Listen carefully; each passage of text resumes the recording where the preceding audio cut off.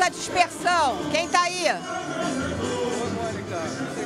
Aqui eu estou ao lado do Jardel Lemos, que é o coreógrafo da comissão de frente da União Parque de Curicica. E foi uma comissão muito bonita, né? bem é, criativa. Como é que você criou? O que, que representa ela?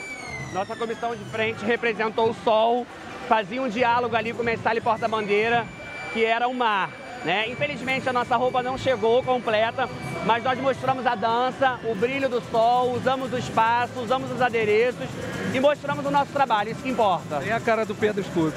Tem a pedra do, do, Pedro Scooby, um grande homenageado que vem logo atrás. Você tem 10 anos de, à frente de escola de samba e tal, como é que é essa experiência?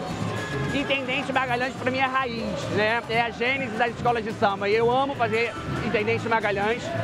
E eu acho que é isso, é mostrar nossa força enquanto artista aqui no espaço que é de todos, que é para todos. O ano passado você fez a Império Serrano, né? Ano, esse ano eu fiz a Império da Tijuca.